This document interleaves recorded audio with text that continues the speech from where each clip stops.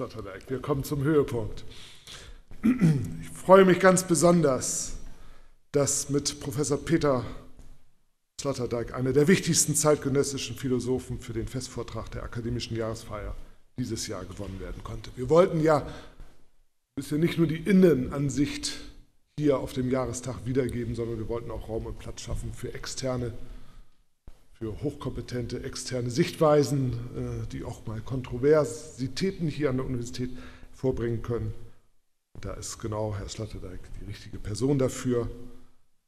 Die von ihm in einzigartiger Weise repräsentierten kritischen Fragen und zukunftsweisenden Antworten innerhalb des Kräftefeldes von Wissenschaft, Politik und ich würde auch sagen Hochschulpolitik, Wirtschaft und Gesellschaft gaben den Anlass dazu, ihn gerade als Festredner vorzuschlagen. Peter Sloterdijk ist Professor für Philosophie und Medientheorie, Gastdozenturen in New York, Paris, Zürich bestreichen seine internationale Standing. Zudem ist er auch Rektor der Hochschule für Gestaltung in Karlsruhe. Er vertritt somit die Perspektiven des Wissenschaftlers als auch des Hochschulmanagers und Hochschulstrategens. Darüber hinaus ist er freier Schriftsteller und Autor viel beachteter Veröffentlichungen. Besonders eine seiner jüngsten Buchveröffentlichungen, Scheintod im Denken von Philosophie und Wissenschaft als Übung, bietet eine im Hochschulkontext inspirierende Analyse des Wissenschaftsbetriebes und des wissenschaftlichen Tuns. Sloterdijk ist Träger der Ernst-Robert-Curtius-Preises und des Friedrich-Merker-Preises. Er erhielt den Christian Kellerer Preis für Zukunft philosophischer Gedanken und den Sigmund Freud Preis für wissenschaftliche Prosa. Die Französische Republik verlieh ihm die Ehrenwürde des Commandeur de l'Ordre des Arts et des Lettres. Aber wahrscheinlich muss ich Herrn Kollegen Sloterdijk gar nicht so detailliert vorstellen, weil Sie ihn regelmäßig Bayer Fernsehen in das heimische Wohnzimmer holen. Gemeinsam mit Rüdiger Safanski leitet er ja das philosophische Quartett, das ein oder andere sicherlich von Ihnen gesehen hatte, im ZDF ausgestrahlt wird und diskutiert mit wechselnden Gästen über aktuelle gesellschaftliche, virulente Themen. Ich will nur exemplarisch einige Sendungstitel nennen, die Bezüge zur wissenschaftlichen Arbeit an der Universität Bayreuth haben. Zum einen Arm, aber sexy, die Zukunft der Städte. Herr Hohl, ich glaube, das bezieht sich nicht auf Bayreuth. ich glaube, das bezieht sich auf Berlin. Ne? Darauf war das bezogen. Ne? Irrationale Finanzwelt, das Gespenst des Kapitals, auch ein sehr aktuelles Thema, und Sturm der Geschichte, sind Gesellschaften lernfähig. Wir können von dem Festvortrag mit dem Titel Die akademische Differenz zur Frage nach dem wahren Ort von Forschung und Lehre somit eine multiperspektivische und in ihrem Facettentum Reichtum, Facettenreichtum inspirierende Darstellung erwarten, die ich mich persönlich besonders freue. Herr Sloterdijk, ich habe ja heute Morgen schon einen Ihrer Vorträge gehört schwerst beeindruckt, wie ich es in meiner Sprache immer so ausdrücke. Ich freue mich ganz besonders auf Ihren Vortrag. Herr Stadtag, vielen Dank fürs Kommen.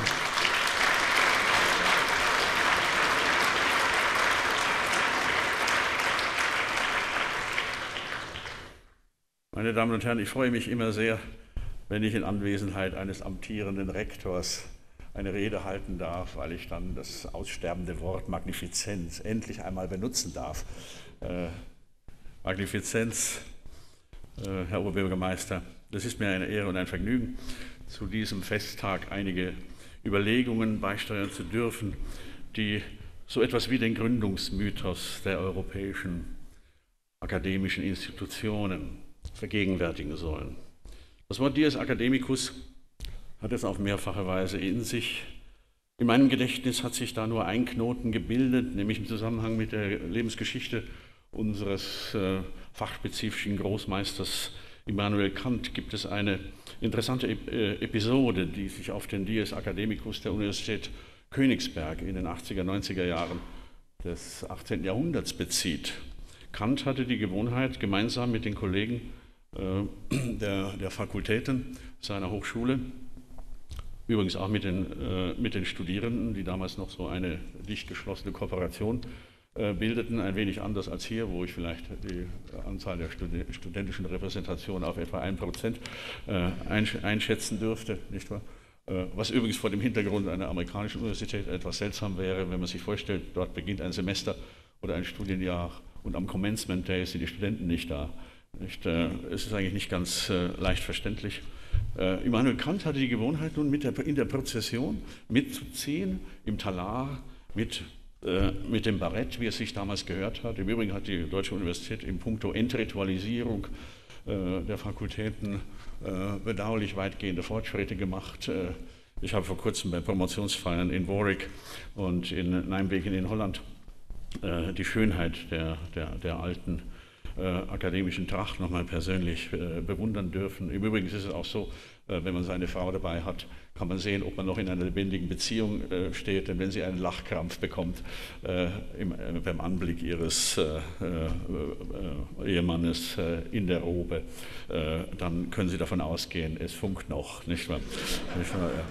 Ja. Immanuel Kant hatte die Gewohnheit, bis an die, an die Grenze der äh, Kirchentür mitzugehen. Der Dies Academicus wurde damals nämlich noch auch mit einem Gottesdienst verbunden. Und dann scherte er aus der Reihe aus und ging nach Hause. Und hat damit zum Ausdruck gebracht, dass sozusagen der, der, der freie Geist, der, der, akademische Geist, äh, bis zu der Kirchentür äh, an die akademische Solidarität ge gebunden ist und es kein Gedanke daran gibt, äh, diese Kooperation zu brüskieren. Aber das, das Gewissen, ja, also der, der Mensch, sofern er mit, dem, mit, dem, mit der höheren Welt dialog, äh, dialogisiert, äh, bleibt frei.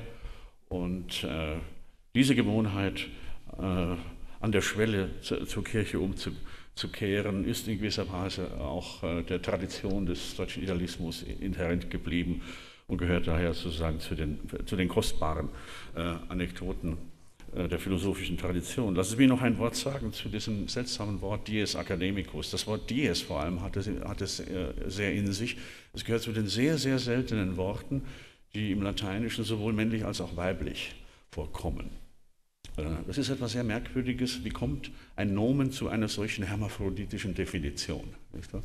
Die Deutschen haben die Sache vereinfacht, indem sie den Tag einfach als männlich erklärt haben während die Römer in dieser Sache vorsichtiger waren und äh, sozusagen äh, genderbewusst äh, die, die Tagesfrage diskutiert haben. Sie haben also nämlich die schlimmen Tage weiblich und die, die, guten, Tage männlich, die guten Tage männlich definiert. Deswegen haben wir hier einen Dies Academicus, der übrigens auch in schöner Regelmäßigkeit wiederkehrt, während der weibliche Tag der, der, der Tag, den wir übrigens aus der, aus der Kirchengeschichte kennen, eben ein, ein bedrohlicher Tag ist, ein Tag äh, äh, von Blut und, und, und, Staub und Asche.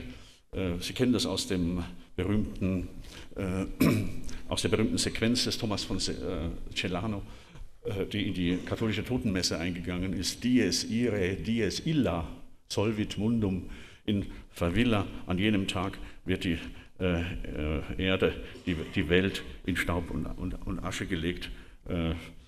Wir halten einfach fest, der Dies Academicus steht genderpolitisch gesehen auf der guten Seite. Äh, die Erde wird nicht in Staub und Asch gelegt und der Tag ist männlich. Äh, äh, ich möchte über die Besonderheit unseres Daseins als Homines Academici einige Vergewisserungen anstellen, wobei ich Sie bitte mit mir gemeinsam eine Fantasieübung zu machen. Ich, ich wende mich jetzt sozusagen an die hier nicht anwesenden Erstsemester. Es müssen ungefähr 1000 sein, die im Bereuter Raum äh, ver verstreut sind. Erstsemester, das sind jene zarten Seelen, die nach der Theorie der pädagogischen Tradition Wachstafeln gleichen, in die die Lehrenden ihre Siegel einprägen. Aber ich möchte diese Personen nun zu einer Teilnahme an einer nicht ganz alltäglichen Reflexion ermutigen. Ich möchte Sie nämlich bitten, mit mir gemeinsam auf die Frage einzugehen, wo sind Sie eigentlich hingeraten, als Sie dieses Haus betreten haben, beziehungsweise diesen Campus? Wo sind wir eigentlich, wenn wir in einer akademischen Institution sind? Und das ist, wie ich noch zeigen werde, eine nicht einfach nur simple, topologische Fragestellung, sondern es ist eine Frage, die an die Besonderheit der, des akademischen Ortes rührt, nennen wir sie eben gerade heraus, die akademische Differenz. In allen, meine Damen und Herren, ist der Begriff der Utopie ein geläufiger Begriff. Wörtlich meint er äh, einen Ort, den es nicht gibt. Denn das Präfix U symbolisiert im Griechischen die Nichtexistenz, die Absenz, die Unwirklichkeit. Wenn man nun aber Orte entwirft, die es nicht gibt, und dort aber reales Leben hineinprojiziert, so etwa wie es auch Plato schon in seiner Politeia getan hat, macht man von der menschlichen Einbildungskraft einen, Künstler, einen äh, eng verwandten, mit der künstlichen Funktion eng verwandten Gebrauch. Denn durch das Erzeugen von Utopien reklamieren die Menschen Kraft ihrer Fantasie das Recht, nicht nur hier zu sein im Realen, sondern auch anderswo. Bei helllichtem Tage benutzen sie die menschliche Traumkraft als die Fähigkeit, alternative Welten zu entwerfen. Es erübrigt sich darauf hinzuweisen, dass das utopische Denken seit dem 16. Jahrhundert in Europa eine große Blüte erfahren hat. Nicht zufälligerweise steht es ja im Zusammenhang mit dem wahrhaft erschütternden Erlebnis der Seefahrt, der Öffnung des atlantischen Raums, überhaupt die Atlantisierung des, des Weltbilds und dass ein Großteil dessen, was im 19. und im 20. Jahrhundert Politik hieß, nichts anderes war als angewandter Utopismus, wissen wir inzwischen. Wir, sind ja, wir wissen ja so gut, dass wir gebrannte Kinder des übermäßigen Gebrauchs von utopischen Funktionen sind. Und so ist es zu begrüßen, dass im Laufe des 20. Jahrhunderts andere Arten des Nachdenkens über die Fähigkeit, zugleich hier und anderswo zu sein, eingesetzt haben. An erster Stelle ist dabei an einen bedeutenden, wenn auch wenig bekannten Vortrag des französischen Philosophen und Diskursanalytikers Michel Foucault zu erinnern. Foucault hat Ende der 60er Jahre unter, unter dem Titel Andere Räume, des, äh, des Espaces autres, äh, vor französischen Architekten eine kleine Rede gehalten, in die er einen Begriff einführte, der weithin aufhorchen ließ. Er äh, benutzte damals zum ersten Mal den Begriff der Heterotopie, was so viel bedeutet wie Andersort oder Andersortigkeit. Anders als die Utopien sind Heterotopien Orte, die es tatsächlich gibt. Sie verkörpern räumlich situierte Andersartigkeit, die mit dem Kontinuum der gewöhnlichen, prosaischen, alltäglichen Situationen nicht im Einklang steht. Michel Foucault etwa zählt das Gefängnis auf, die Kirche, das Museum, das Hospital, das Archiv, das Schiff. Wir können als andere Beispiele die Deponie, die Hochsicherheitszone, den Friedhof und dergleichen Räume hinzufügen. Von all diesen Räumen strahlt eine gewisse Faszination in die Standardräume aus. Ich werde jetzt Argumente äh, sammeln für das Argument, dass man den akademischen Raum, den Locus Academicus ebenfalls als eine heterotopische Institution verstehen soll. Ich rede jetzt wieder zu den Erstsemestern. Ich bemühe mich, meine Worte so zu wählen, dass Sie bei einigem guten Willen nachvollziehen können, warum Sie beim Betreten dieses Raumes eine Art von heiligem Schauer empfinden sollten. Es gibt Menschen, die sind zwar zu verstockt, äh, um dergleichen zu empfinden oder denen es in diesen Räumen aus anderen Gründen schaudert. Aber ich gehe davon aus, dass sie bereit und fähig sind, guten Willens also den besonderen akademischen Schauder zu empfinden und verstehen werden, warum dieser unabdingbar zum Geheimnis dieser Institution gehört. Dazu muss ich Sie leider einer Berieselung oder einer Bombardierung mit einigen Jahreszahlen unterziehen. Ich nehme dieses Wagnis auf mich und erzähle Ihnen eine Geschichte, an deren Ende die Gründung jener Institution steht, an der wir uns hier und heute noch immer aufhalten. Zunächst muss man wissen, dass das fünfte Jahrhundert vor Christus im griechischen Teil des Mittelmeeres eine Krisenära gewesen ist. Das ist zwar die harmloseste Aussage, die man über einen Zeitraum treffen kann, äh, aber in diesem Fall handelt es sich um eine Spezialkrise, um eine Krise mit großen schöpferischen Potenzial. Damals war der Peloponnesische Krieg im Gang, von dem Thukydides in den zahlreichen Büchern seines Geschichtswerkes berichtet. Es ist der erste 30-jährige Krieg der europäischen Geschichte. Er dauerte von 431 vor Christus bis in das Jahr 404. Und auf dieses Jahr 404 werden wir gleich nochmal zurückkommen, weil es das eigentliche Schicksals- und Schlüsseldatum der politischen Geschichte Europas darstellt, an dem unmittelbar die Geschichte der späteren Akademie anknüpft. Zuvor ist aber noch das Jahr 427 vor Christus ins Auge zu fassen, in dem in Athen ein junger Aristokratensohn mit dem Namen Platon geboren wird. Seine ersten 24 Lebensjahre verbringt er folgerichtig in einer Periode, in der ununterbrochen Krieg herrscht, Er ist ein Kriegsjugendlicher, wie er im Buche steht. Nun in die 20er und 10er Jahre des endenden 5. Jahrhunderts fällt schließlich die Tätigkeit eines seltsamen Mannes, der die Gewohnheit hatte, in Athen, man kann es nicht anders ausdrücken, herumzulungern und die Passanten in bizarre Gespräche zu verwickeln. Sie haben verstanden, ich spreche von niemand anderem als von Sokrates, den man in äußerer Ansicht zunächst einmal nur als eine Art Edelstadtstreicher äh, bezeichnen sollte. Mit ihm beginnt die Tradition der urbanen Philosophie.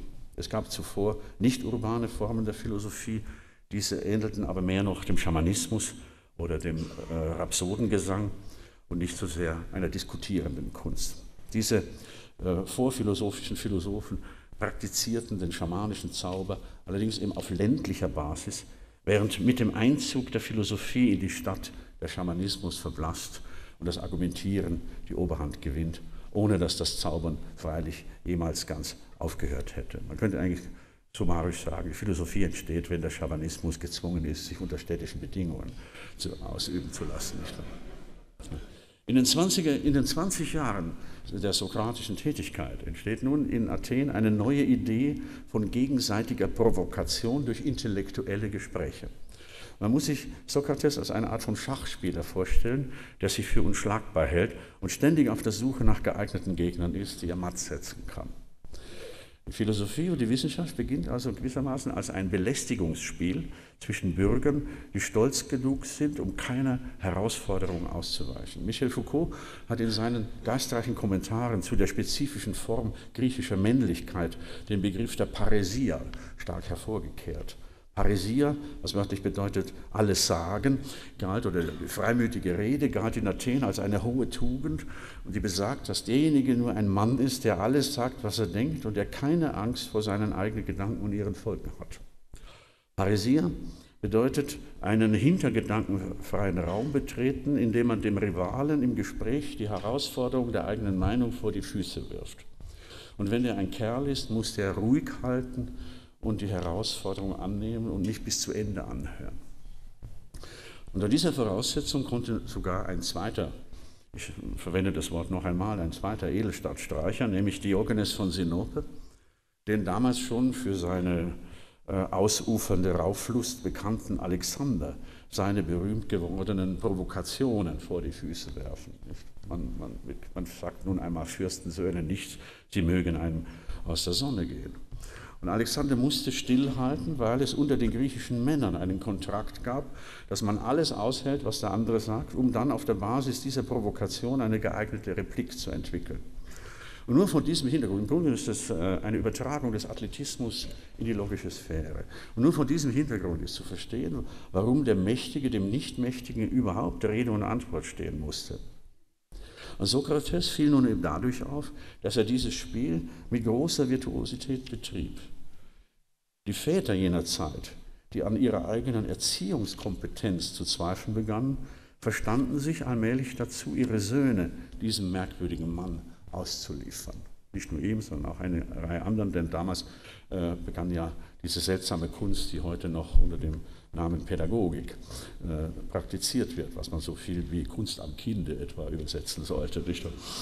Nach 30-jähriger Kriegszeit ist es aber nur plausibel, dass die Institution der Vaterschaft Schaden leidet. Und die Väter müssen einsehen, ihre eigenen Söhne nicht mehr zu verstehen. Das ist überhaupt das Gesetz der Hochkultur, dass äh, äh die Eltern es mit unähnlichen Nachkommen zu tun, zu tun bekommen und dass daher äh, diese schreckliche Geschichte beginnt, die wir heute mit dem Begriff Innovation uns schön zu reden versuchen. Und äh, in dieser Situation bleibt den Vätern nichts mehr an, übrig, als ihre Kinder einen berufsmäßigen Kinderversteher auszuliefern. Wie gesagt, daraus entsteht die Zunft der Pädagogen. Sokrates, der übrigens auch an einigen Schlachten des Peloponnesischen Krieges teilgenommen hatte, und der soldatisch seinen Mann gestanden hatte, fiel nun außerdem durch eine seltsame Tätigkeit auf, die für seine Zeitgenossen von einer Aura der Unheimlichkeit umgeben war. In Athen erzählte man sich, und man beobachtet es gelegentlich auch mit eigenen Augen, dass es da einen Mann gibt, der offenbar von einem Dämon besessen ist. Das sokratische Daimonion, das Teil des athenischen Stadtgesprächs geworden war, manifestierte sich vor allem in der eigenartigen Angewohnheit des Sokrates, bei seinen aktuellen Verrichtungen manchmal plötzlich innezuhalten. Er blieb gelegentlich plötzlich stehen und versank in das, was man wohl tiefes Nachdenken nennen muss. Er dachte so tief nach, dass jeder Beobachter, auch wenn er die Gedanken des Sokrates nicht lesen konnte, merken musste, in diesem Mann geschieht eine seltsame Alchemie und für die ist es wohl ratsam, den Begriff Denken zu verwenden.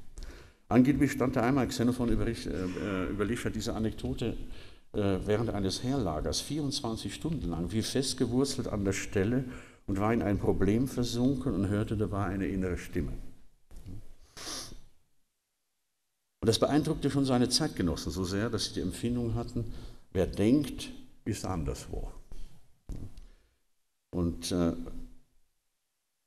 in der äußeren Beobachtung fällt auf, diese Art von Absorption, die wir Denken nennen, ja, äh, wird begleitet von, einem, von einer subtilen, hochspezifischen Form der Asozialität, die sich dadurch äh, entwickelt, dass der spezifisch Denkende, der authentisch Denkende, nicht nur assoziiert, der authentisch Denkende die Erfahrung macht, dass einzelne Sätze miteinander enger zusammenhängen als der Denkende mit seiner Gesellschaft. Kein normaler Mensch gibt zu, dass man B sagen muss, wenn man A gesagt hat. Das machen nur denkende Menschen. Denn im, im, in freier Wildbahn äh, kann auf, auf A alles Mögliche folgen. Es muss nicht B sein. Im Bereich des Denkens ist äh, die Conclusio vorgezeichnet und nur derjenige, der diese, auf diese Straße der logischen Evidenz gefunden hat, kann dieses Gehen von Gedankengängen in seinem Inneren erleben. Und, und dabei treten Kohärenzerlebnisse auf, die von einer solchen Intensität sind, dass sie gewissermaßen für die Dauer des Denkens die Verbindung zwischen dem Denken und seiner Mitwelt unterbrechen und ihn gewissermaßen in ein äh, nobles Anderswo entrücken, in welchem er eben, wie man so sagt, bei der Sache ist.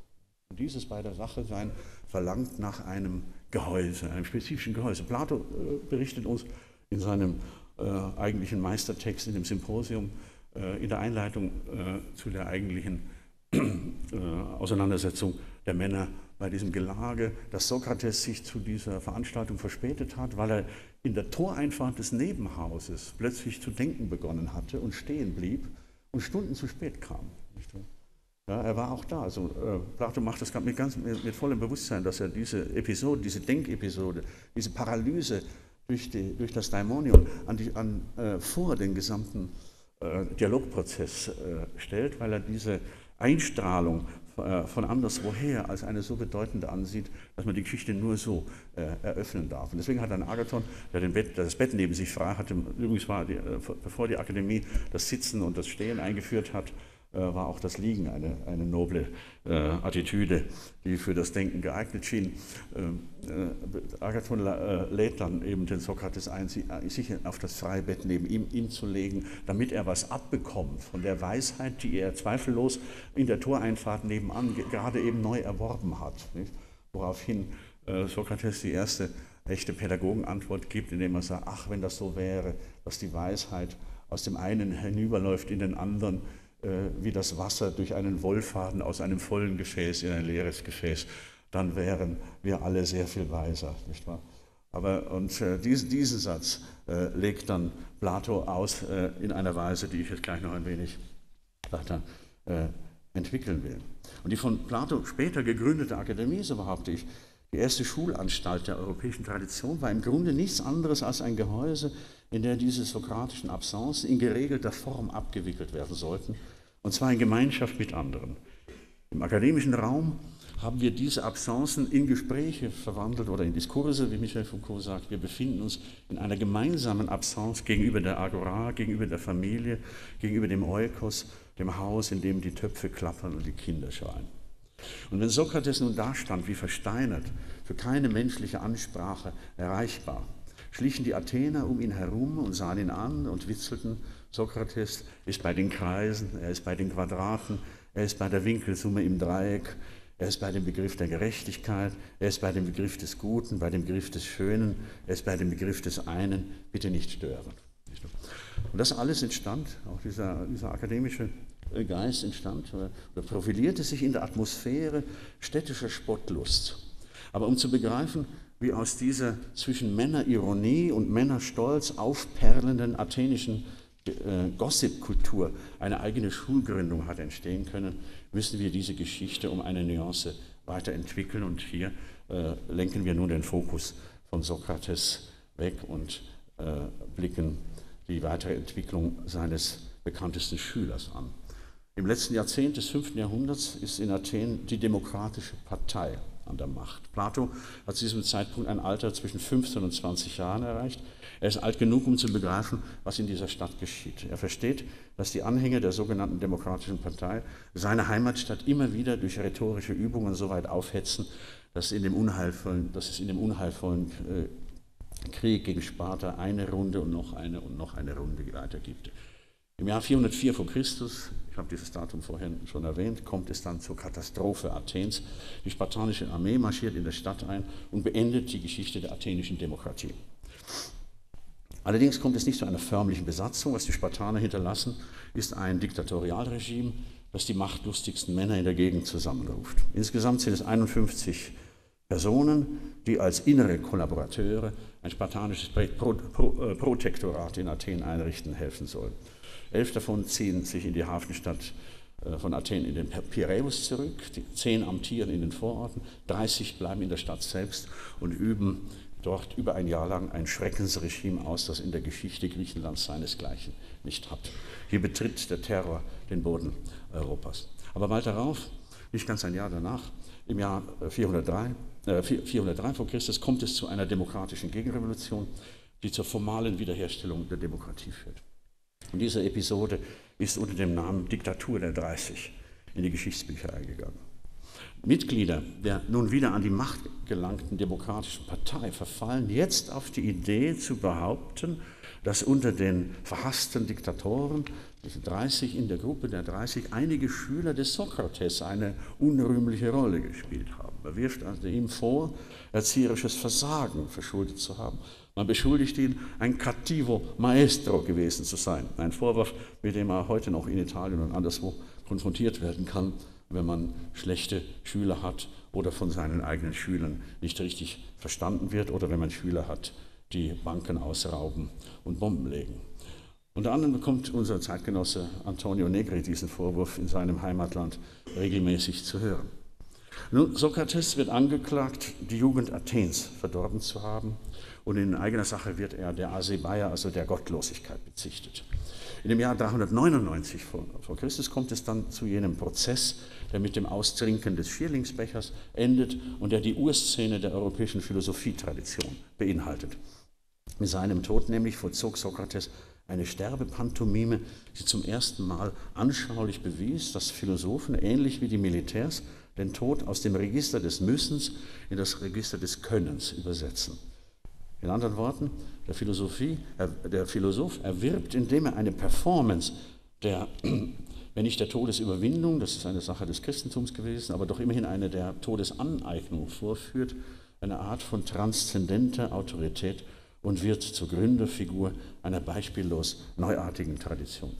Und diese Umwandlung des Todes vom Müssen ins Können hat die Griechen tief beeindruckt. So tief, dass noch Johannes, der griechische Autor des vierten Evangeliums im Neuen Testament, die sokratische Athletisierung des Todes auf Christus übertrug.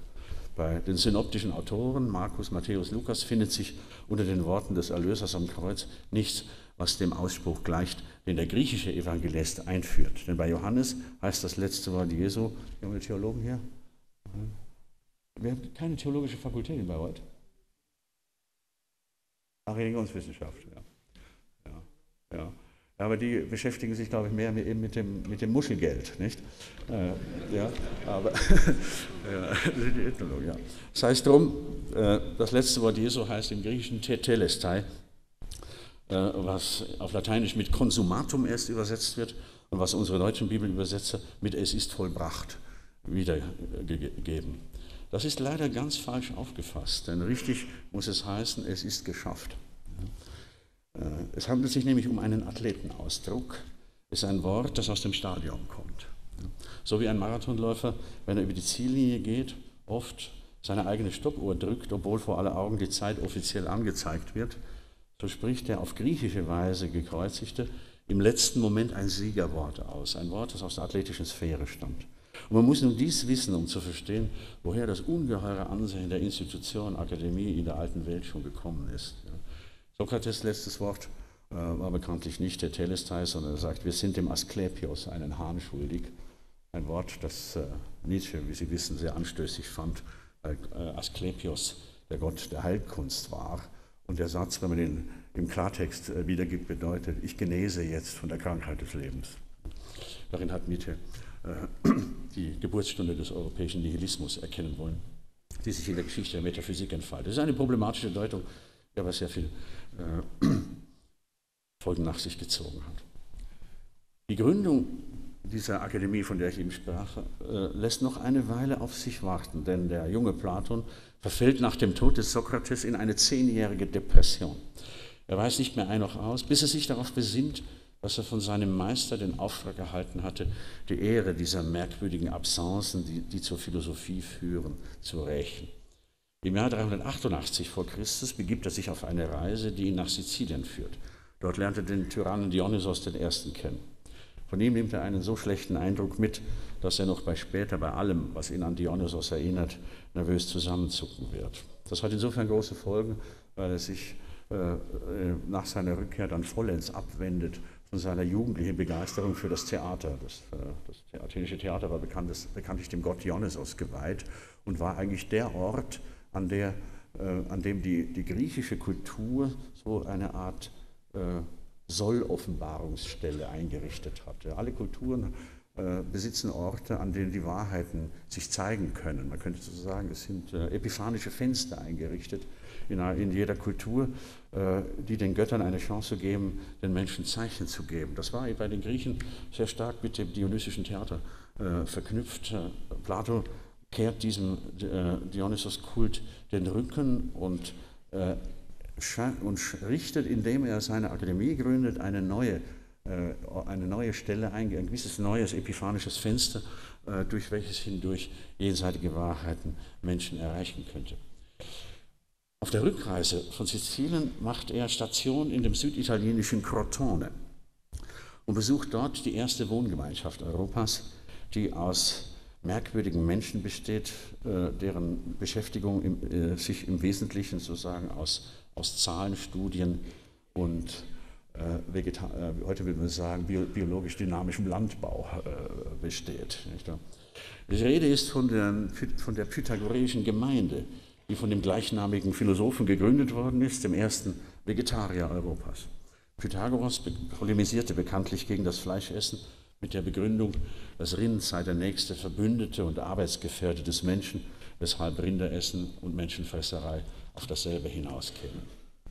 Das ist ein Argument, das sich bis, äh, nicht bis, äh, bis, weder in die USA noch bis nach Argentinien äh, ausgebreitet hat. Aber in erster Linie sind die wenigen Dutzend Männer und Frauen der pythagoreischen Gemeinde, hier treten übrigens auch äh, bereits Frauen in, die, in diese Sphäre ein, die später die akademische heißen wird, diese Männer sind eingeschworen auf ein Leben, das sich der Meditation über das Mysterium der Zahl gewidmet hat. Diese versuchen in ihren Meditationen nicht weniger als die mathematische Partitur des Universums zu ergründen. Und um dieses Zieles willen leben sie enthaltsam und meiden auch den Genuss von Bohnen. Einmal sollen sie ein Mitglied ihrer Gemeinde getötet haben, weil, sie, weil es versucht hatte, die Wurzel aus zwei auszurechnen. Denn die, und die dabei entstehende irrationale Zahl kam in ihren Augen einer Art mathematischer Gotteslästerung gleich.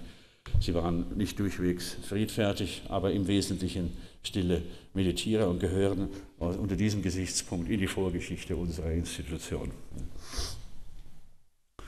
Plato ist von seinem Aufenthalt bei den Pythagoreern so begeistert, dass sich seine lange Depression, die durch die schlechten sizilianischen Erfahrungen eher noch vertieft worden war, in eine leise Euphorie verwandelt. Er kehrt nach Athen zurück mit einer Idee, von der man sagen darf, sie sei wahrhaft epochemachend gewesen. Plato hatte begriffen, dass man eine Enklave dieses Typs mitten in die Stadt implantieren musste. Pythagoreer hat mit ihren mathematischen Studien vollkommen recht. Sie waren die ersten Revolutionäre aus dem Geist der Kontraintuition. Sie haben gesagt, Anschauung kannst du vergessen, für den Mathematiker ist die Welt äh, ein, ein, ein, ein bunter Schleier, der vor einer tiefen Struktur aus Zahl und Struktur äh, ausgebreitet ist. Und das ist die Wirklichkeit. Die Zahlen sind wirklich, die, die Erscheinungen äh, sind, sind, sind zweitklassig. Es ist der, dieser Putsch gegen die äh, gewöhnliche Weltauffassung, mehr der die eigentliche Geschichte der Wissenschaft äh, beginnt. Und bis auf den heutigen Tag ist Wissenschaft die Entfaltung der kontraintuitiven Revolution gegen den sogenannten gesunden Menschenverstand gewesen. Und er sagt, diese, und Platos große Intuition war, die Pythagoreer haben ja in allem recht. Sie tragen diese äh, kontraintuitive Revolution äh, voran, ohne die man Wahrheit in Zukunft nicht mehr wird definieren können. Aber sie haben der Form nach Unrecht, weil sie sich außerhalb der Stadt angesiedelt haben. Nicht? Also, das hätte man vielleicht auch in Bayreuth vorher überlegen können, nicht? Äh, bevor man den Campus so weit draußen anlegt. Nicht? Äh, aber es ist, glaube ich, hier ein glücklicher Kompromiss äh, gefunden worden, denn ich werde in einigen Bemerkungen über die Topologie der Athenischen Akademie eigentlich genau das Bayreuther Modell antizipiert finden. Nicht? Kurzum, er sagt, diese, diese Studiengemeinschaft, diese, diese Gegengesellschaft von Zahlenfreunden, die muss in der Stadt implantiert werden und von dort aus müssen wir versuchen, der Stadt auf andere Weise die Wahrheit zu sagen. Und er kommt also wieder nach Athen zurück mit einem manischen Auftrieb von solcher Schwungkraft, dass er bereits im nächsten Jahr die sogenannte Akademie eröffnen kann. Im Jahr 387 vor Christus, das ist die Zahl, die wir uns eigentlich einprägen sollten. Das ist das heilige Datum für die Angehörigen des akademischen Raumes. Beginnt der Lehrbetrieb der Akademie. Ja, also 387. Wir haben einen anderen Kalender, Postakademie am Fundata. Ja, da beginnt der Lehrbetrieb der Akademie. Und deren Gebäude lagen nicht direkt im Stadtzentrum Athens, sondern ein paar Stadionlängen davon entfernt im Hain eines Lokalgottes namens Akademos oder Hekademos, der der Institution den Namen gab. Ja, wobei man bis heute nicht genau weiß, äh, wofür er eigentlich gefeiert wurde. Plato hat sehr gut daran getan, diesen heterotopischen Ort in einer gewissen Entfernung zur Agora zu platzieren. Und zwar nicht deswegen, weil die Akademiker sich von der Gesellschaft ganz fernhalten sollen. Im Gegenteil. Sie sollen äh, ihr sehr viel zurückgeben und sie tun das auch, aber sie tun es in einer Weise, die die Gesellschaft zunächst und zumeist nicht begrüßt. Denn die Gesellschaft, und das ist Platons unsterbliche Erkenntnis, weiß eigentlich gar nicht, was sie wollen soll und wollen kann. Und seit den platonischen Tagen streiten die Gelehrten mit den Profanen darüber, was richtiges Wünschen überhaupt bedeutet. Die Akademie ist so gesehen eigentlich nichts anderes als ein Ausbildungslager, in dem sozusagen logische Dissidenten herangezogen werden. Äh, in Mittelasien würde man sie Taliban nennen, was eigentlich so viel bedeutet wie Schüler, äh, die den Menschen das Wahre wünschen oder das Wünschen der Wahrheit beibringen sollen. Und eine echte heterotopische Institution ist die Akademie eben aus dem Grund, weil in ihr Güter beheimatet sind und gepflegt werden, die anderswo kein Obdach haben.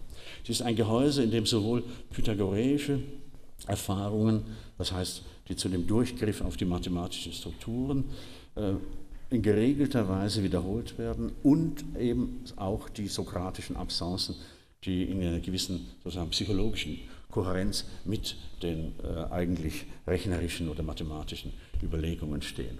Und beides bringt Plato nun mit einem neuen erotischen Spiel in Verbindung, indem er den städtischen Eros und den städtischen Thymos, also den, äh, den, die, äh, die, die, triebhafte Seite des Menschen, die stolze Seite des Menschen, den Geltungsdrang der jungen Leute ausnutzt, um sie in einen Wettbewerb des Lernens und Lehrens zu verwickeln. In der älteren Akademie äh, galt ja nach wie vor ein Prinzip sozusagen des persönlichen Rapports zwischen den Lehrenden und Lernenden. Äh, äh, Studien waren, wenn man so will, strukturierte Liebesgeschichten, Erastes, Eromenos. Ich brauche die Hinweise auf dieses wundervolle Thema aus dem Symposium Platos hier nicht zu rekapitulieren. Und Plato schafft auf diese Weise einen Ort, an dem die Grundregel des Friedens der Argumente zu gelten hat.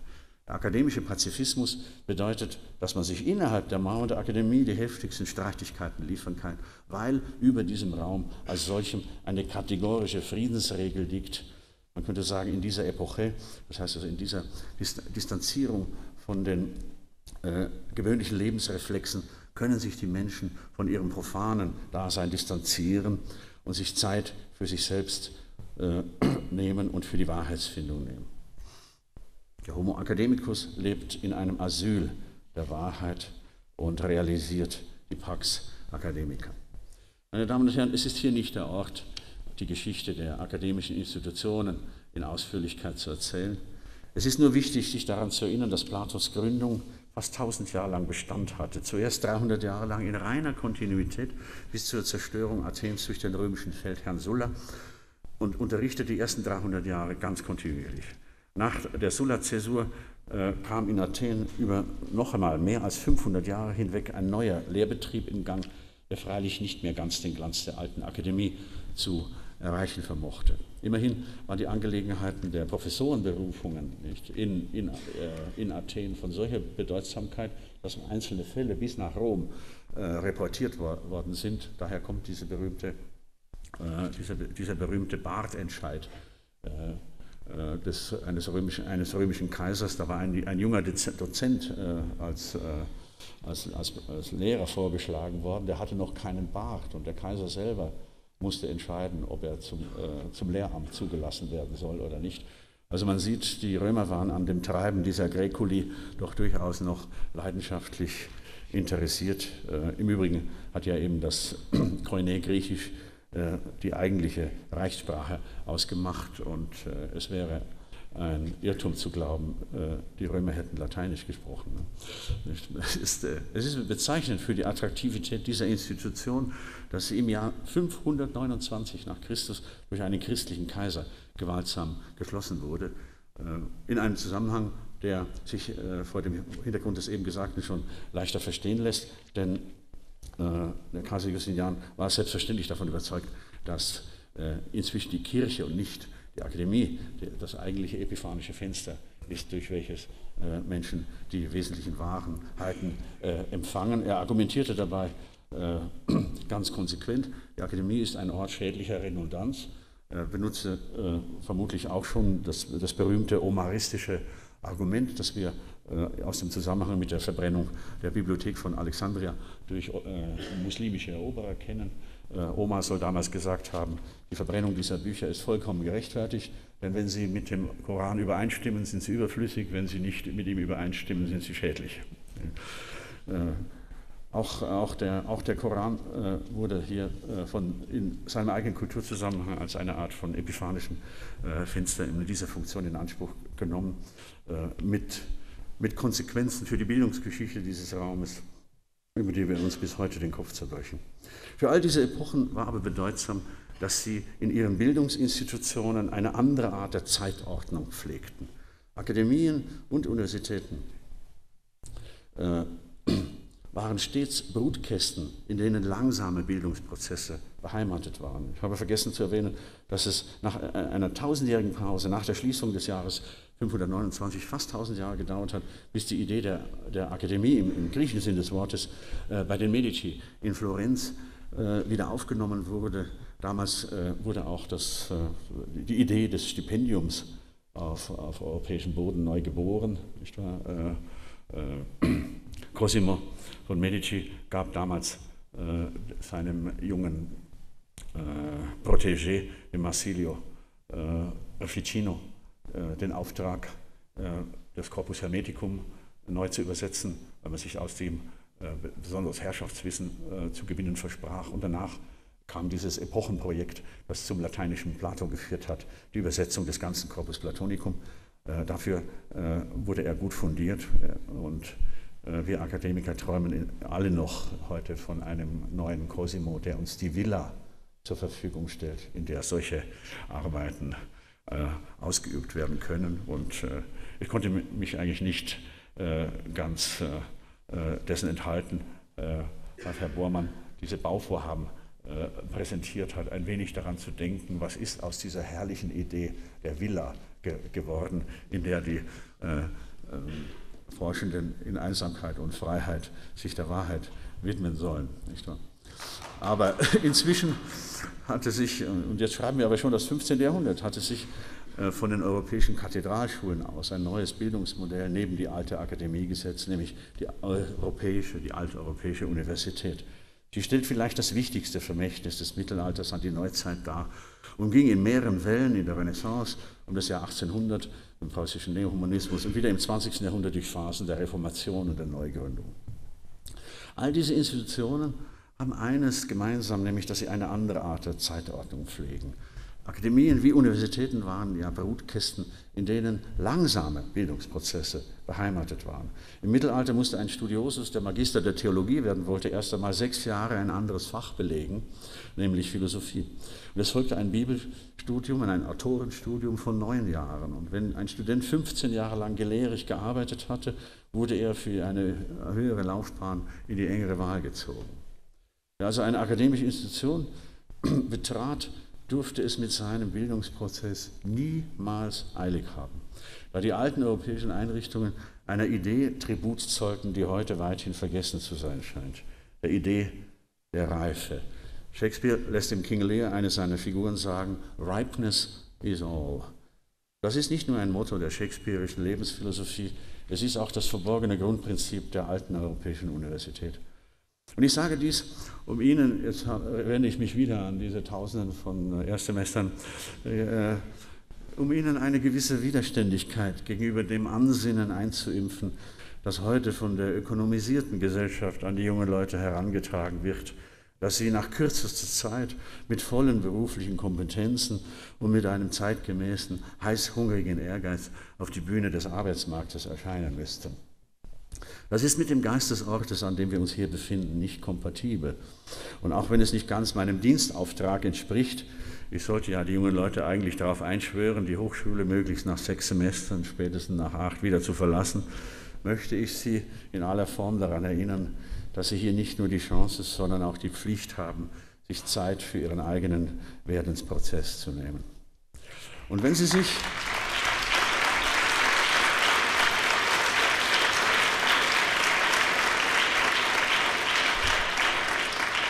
Und wenn Sie sich im Raum der akademischen Heterotopie aufhalten, dann sind Sie an einen Sprachen-, Zeichen- und Bilderstrom angeschlossen, der aus großer zeitlicher Tiefe kommt.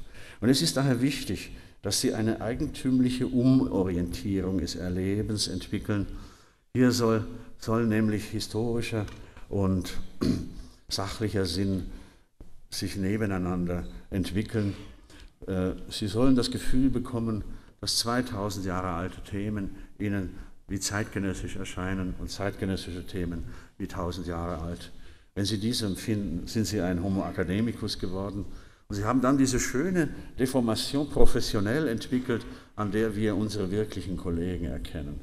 Wenn Sie als Theaterwissenschaftler das Gefühl haben, Aeschylus sei Ihr Kollege, wenn Sie als Philosoph, als Naturwissenschaftler das Gefühl bekommen, Aristoteles sei ein Kollege, wenn Sie als bildender Künstler das Gefühl bekommen, die ältesten Bildhauer, Phidias allen voran, sei ein Kollege. Wenn Sie also dieses merkwürdige Empfinden entwickeln, dass alles, was Vergangenheit war, in eine gemeinsame Zeitebene, in eine Art virtuelle Gegenwartslinie eingerückt ist, dann hat Ihre akademische Sozialisation zum Ziel geführt. Sie sind dann einer jener Menschen geworden, die Goethe die Wissenden genannt hat. Und wissend ist nach Goethe bekanntlich, wer von 3000 Jahren sich weiß, Rechenschaft zu geben. Und vielleicht entwickeln sie dann auch die merkwürdigen Symptome, die bei wahren Hochschulleuten sich äh, gelegentlich manifestieren.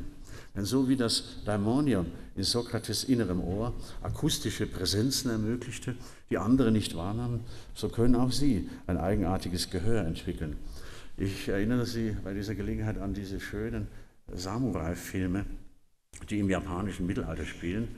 Und wenn Sie sich richtig erinnern, da kommt es doch immer vor, dass in einer Ecke in der Küche, äh, wo die Urnen mit den Ahnen stehen, plötzlich der Urgroßvater von oben her mit tiefer Bassstimme zu singen beginnt.